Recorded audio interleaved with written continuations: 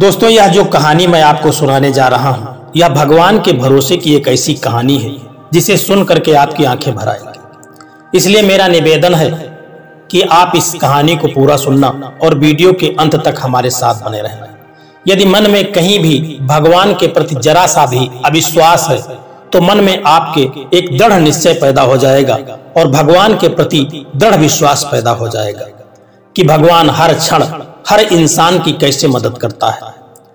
दोस्तों, एक पुरानी सी इमारत बनी हुई थी और उसी में एक वैद्य जी का मकान था। उस इमारत के पिछले हिस्से में बैद जी रहते थे और अगले हिस्से में उन्होंने अपना दवाखाना खोल रखा था। वैद्य जी की जो पत्नी थी, उसकी आदत थी कि जब वैद्य जी दुकान खोलते तो उसके पहले ही वह उस दिन के लिए जो भी आवश्यक सामान होता था, उसकी एक पर्ची बना करके बैद जी के सामने गद्दी पर रख देती थी।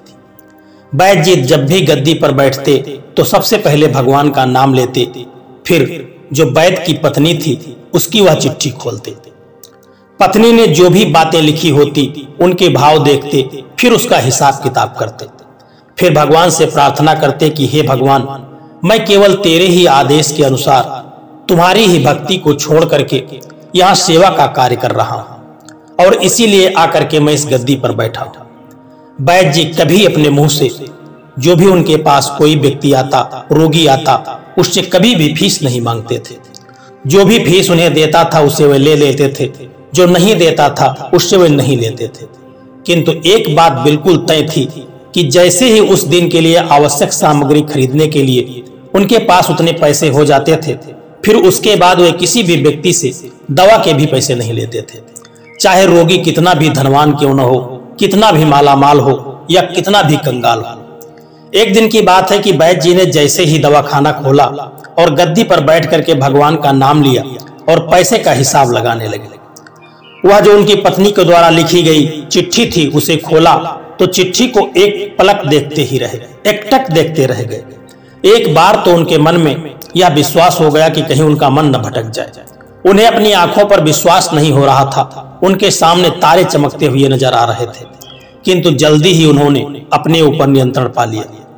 आटे, चावल, दाल आदि के बाद पत्नी ने उस चिट्ठी पर लिखा था कि बेटी का विवाह निश्चित तारीख को है और वह तारीख लिखी हुई थी।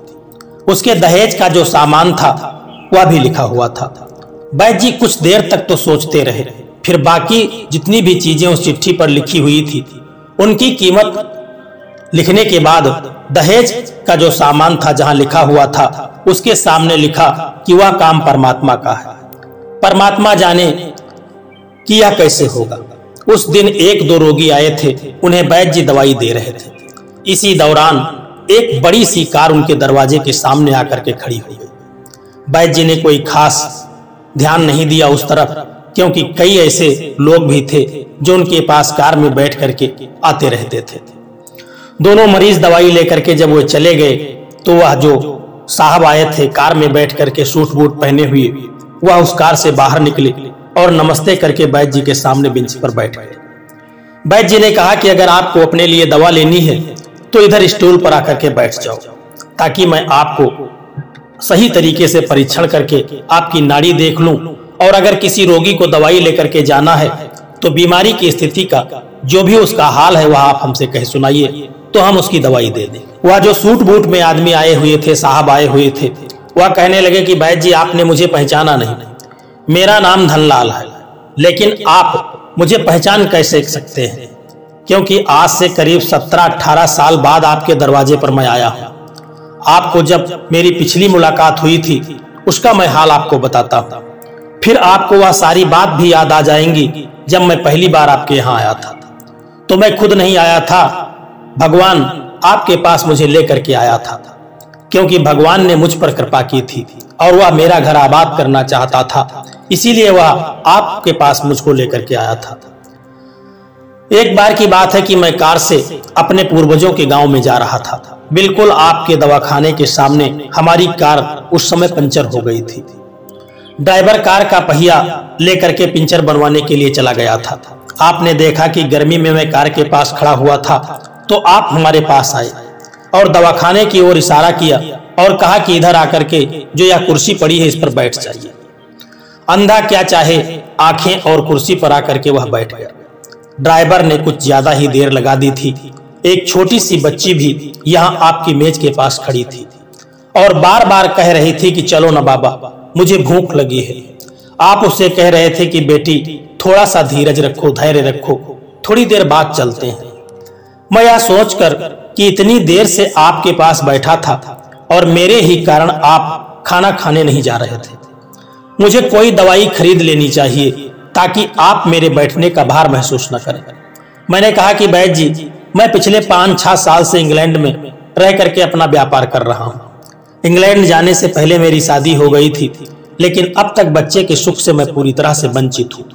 यहाँ भी इलाज कराया और वहाँ इंग्लैंड में भी न जाने मैंने कितना इलाज कराया, लेकिन हर जगह मुझे निराशा ही हाथ में लगी। पता नहीं मेरी किस्मत में क्या लिखा है। शायद भगवान मुझे बच्चे नहीं देना चाहता है। शायद भगवान मुझे निराश ही करना चाहता है। उस समय आपने कहा था कि मेरे भाई भगवान से निराश न हो। याद रखो कि उसके कोष में किसी चीज़ की कभी भी कोई कमी नहीं रहती है। औलाद, धन, इज़्ज़त, सुख, संपत्ति सब कुछ उसी के हाथ में है। या किसी वैद्य या डॉक्टर के हाथ में नहीं होता है, और न ही किसी दवा में इतनी क्षमता होती है कि वह काम कर सके। जो कुछ भी होना होता है, वह सब भगवान की कृपा से और उनके आदेश से ही होता है। यदि भगवान को पुत्र का सुख देना है तो उसी को देना है। मुझे याद है कि आप बातें करते जा रहे थे, और साथ साथ में दवा की जो पुड़िया थी, वह भी बनाते जा रहे थे। सभी दवा आपने दो भागों में बांट करके अलग अलग लिफाफों में डाल दिया था। और फिर मुझसे पूछ करके आपने एक लिफाफे पर मेरा और दूसरे लिफाफे पर मेरी पत्नी का नाम लिख करके दवा को किस तरह से उपयोग में लाना है, यह सब कुछ उस पर लिख दिया था। मैंने तब से बेदिली से वह दवाई ले ली, क्योंकि मैं सिर्फ़ कुछ पैसे आपको देना चाहता था, क्योंकि आप मेरे बैठने का भार न महसूस कर सके। लेकिन जब दवा लेने के बाद मैंने पैसे पूछे तो आपने कहा था कि बस ठीक है। मैंने ज़ोर डाला तो आपने कहा कि आज का खाता बंद हो गया है। मैंने कहा कि मुझे आपकी बात समझ में नहीं आई बैद जी। इसी दौरान वहाँ पर एक और आदमी आया। उसने हमारी बातों को सुन करके कहा कि खाता बंद होने का मतलब यह है कि आज के जो भी घरेलू खर्च के लिए जितनी पैसों की आवश्यकता बैद जी की थी, वह सब बैद जी को मिल चुकी है। इन्होंने भगवान से जो भी मांगा था, वह भगवान ने इन्हें दे दिया है। और अधिक पैसे वैद्य जी ले नहीं सकते, क्योंकि ज़रूरत से अधिक पैसे ये कभी नहीं लेते। यह सुन करके मैं कुछ हैरान हुआ और कुछ दिल में लज्जित होकर के मेरे विचार कितने निम्न कोटि के थे और यह सरल हृदय का वैद्य कितना महान है। मैंने जब घर जाकर के पत्नी को वह दवाई दिखाई और सारी बात बताई तो उसके मुँह से निकला कि वो इंसान नहीं, कोई देवता है। और उसकी दी हुई दवा ही हमारे मन में जो हमारी इच्छा है, वह पूरी करने के कारण उसकी दवा ही हो सकती है। और मुझे पूरी तरह से विश्वास है कि उस भगवान के हाथों दी हुई दवा मेरी जो भी मनोकामना है, वह पूरी करेगी। आज मेरे घर में दो फूल खिले हुए हैं। हम दोनों पति पत्नी हर समय आपके लिए प्रार्थना करते रहते हैं। इतने साल तक कारोबार में फुर्सत नहीं होने के कारण मैं स्वयं आकर के आपसे नहीं मिल सका।